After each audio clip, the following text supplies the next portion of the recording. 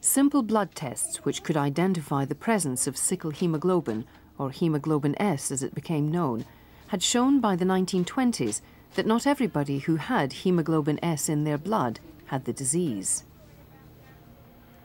It soon became apparent that sickle cell disease was inherited and that the pattern of inheritance suggested a relatively simple genetic explanation. Two, number one is normal, AA2.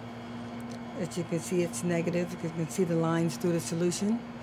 Number two is sickle trait, which is very turbid and you can't see through. The third one also, SS. Again, there's lots of turbidity. You can't see the line. The difference between the two is this one is a little lighter because of the anemia, the sickle cell anemia, but you still see it's very cloudy and you can't see the lines. Sickle cell disease is an inherited disease. That means you're born with it. You cannot catch it or contract it from another person. It's not a contagious disease. Our hair color, our eye color, all of these things are inherited from our parents. What our parents give us for these characteristics are genes. The type of blood that we make is also dependent on the genes that we inherited from our parents. And inside our red blood cells, the type of hemoglobin we make is also dependent on the genes we inherited from both our father and our mother. Now, there are healthy people who can carry the sickle cell gene.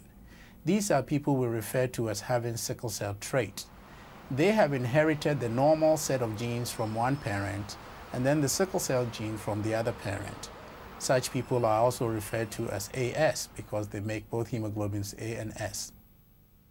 If both parents of a child have sickle cell trait, AS, then they can have children with three possibilities. A child with normal hemoglobin, AA. A child like themselves with both hemoglobins, A and S, sickle cell trait. Or a child with only sickle hemoglobin, SS, and hence sickle cell disease.